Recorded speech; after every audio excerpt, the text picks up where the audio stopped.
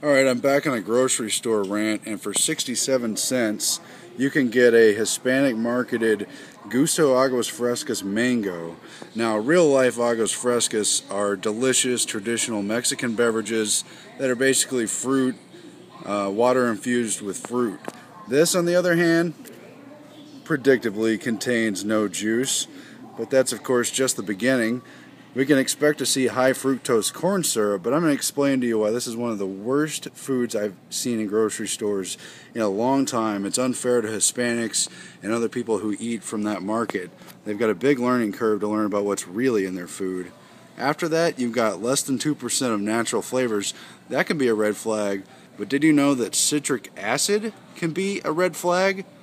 Oh, sure, it comes from real oranges and stuff but of course it is synthetically extracted and becomes a huge problem when it's in beverages alongside sodium benzoate.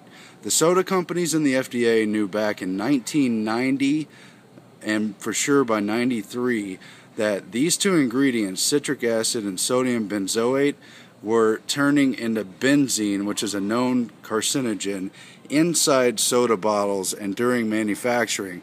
They knew for a long time but never took it out, and it resurfaced in 2005 2006 as a global soda scandal, and they took it out of Diet Cokes and similar diet drinks, but not out of the imitation citric beverages. They're still in most of them, and they have a deadly reaction inside of the soda. How gross is that? It's supposed to be a preservative it doesn't preserve at all. It mutates and transforms and is something that will really bring down your health.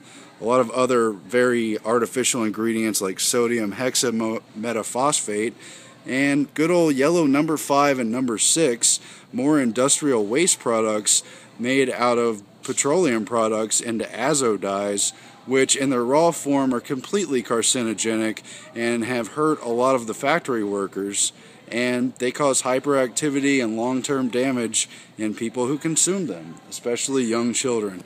So drink up, or actually, please don't. This is not worth 67 cents at all.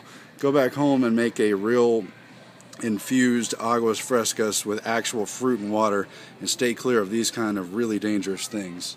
It looks like piss. Oh, that's the best part, yeah. Look at it up to the light. It doesn't even look like a citric beverage. It looks like a bottle of piss.